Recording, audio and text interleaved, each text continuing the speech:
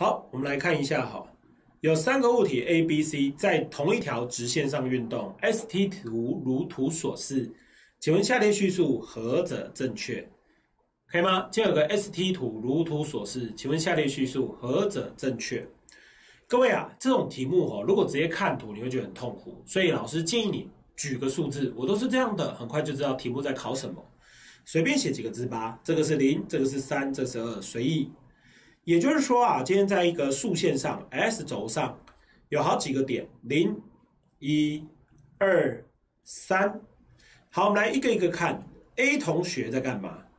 哦，A 同学在二的位置起跑。哇，他偷偷的站前面一点，太过分了。不过他时间也是跟大家一起从零开始就跑。B 同学在干嘛？好乖啊，中规中矩。B 同学从起点开始跑，也是从 T 等于零的时候开始跑。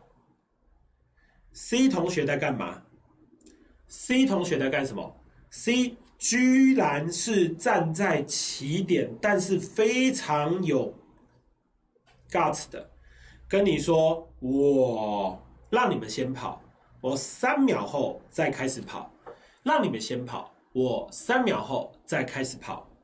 然后 B T 图还可以看出一件事：越倾斜速度越快，越平缓速度越慢。速度的快慢看得出来，所以 C 最快，B 中间，A 最慢。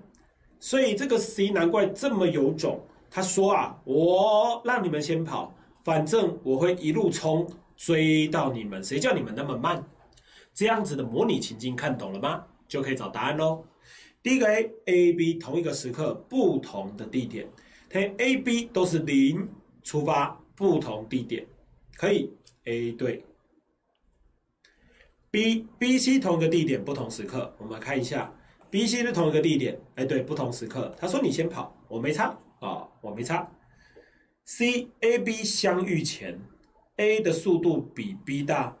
各位，这个速度是从头到尾斜直线是等速度。不管相遇前相遇后，它都没变过，所以是 C 一路都比较大哦，再大于 B，再大于 A，没有 A 是最慢的。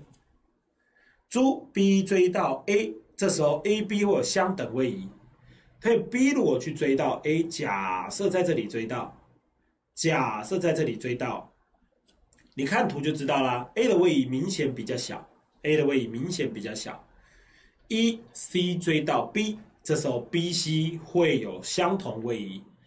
一开始 B 先偷跑，啊，也不能说偷跑，B 是 T 得零呐。C 说你先跑，我再追你。可是追到同一个起点开始跑，那就是一定怎么样？有没有？都是这一条距离，一定怎么样？相等。